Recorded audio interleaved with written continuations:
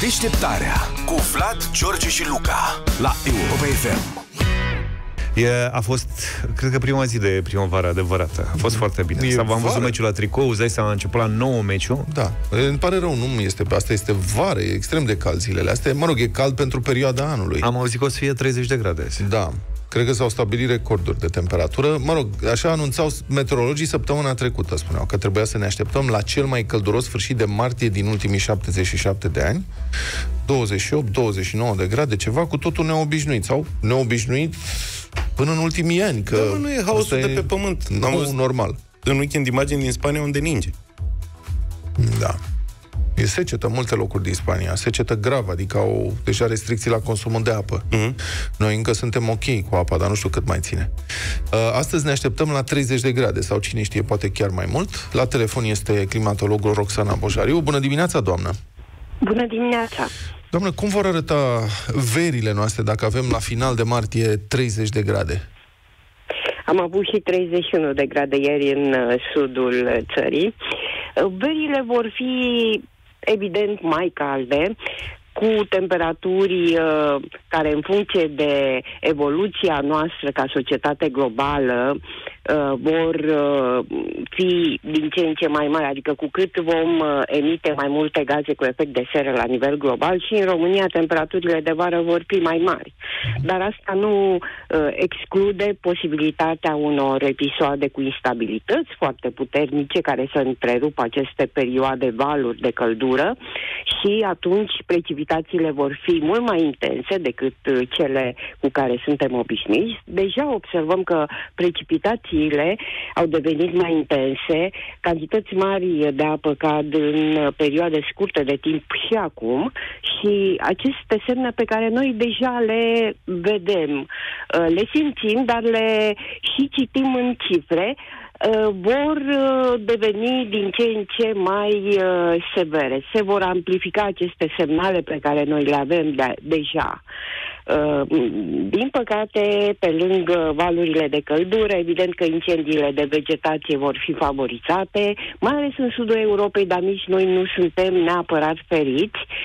Uh, și secetele, problema secetelor, mai ales în uh, lunile de vară, va fi una Dacă foarte poate, poate că nu neapărat căldura în sine importantă. ne deranjează, deși evident că este un disconfort uriaș, dar la asta ne mai putem a- adapta, putem învăța de la societăți care trăiesc uh, la latitudini unde tem- sunt temperaturi chiar mai mari, dar uh, ne deranjează seceta. Cum vor fi următorii ani din acest punct de vedere?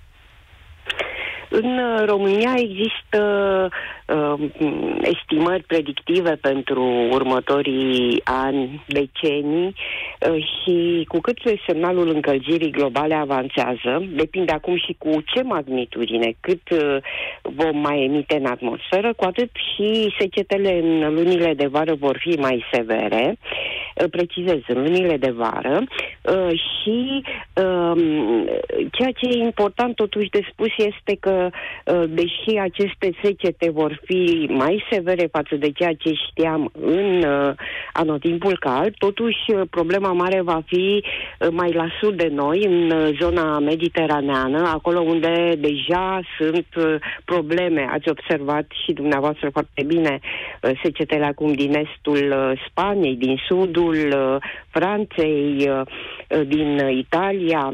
E, lucrurile astea vor fi din ce în ce mai severe și mult mai severe decât ce se va întâmpla la noi.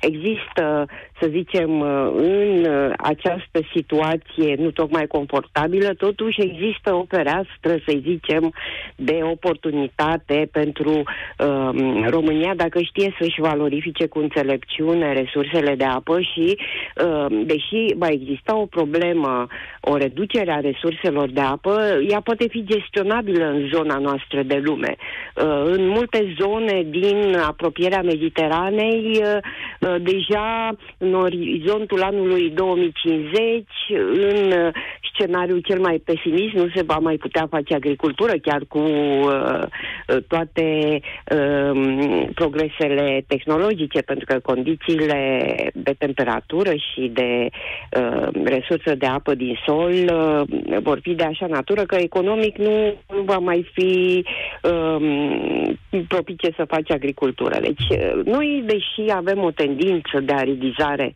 în uh, perioada de vară, totuși ea e încă gestionabilă. Da, poate vom putea crește banani și mango în curte, adică dacă tot se încălzește clima? E, nu știu dacă chiar banani, e, dar e, deja m, există modificări e, în culturile noastre, e, în zona din e, județul Buzău, zone de acolo am înțeles că se cultivă deja sorgul, e, există evident în sudul Olteniei e, e, acele încercări de a se cultiva și alte plante e, nespecifice, kiwi, kiwi sau...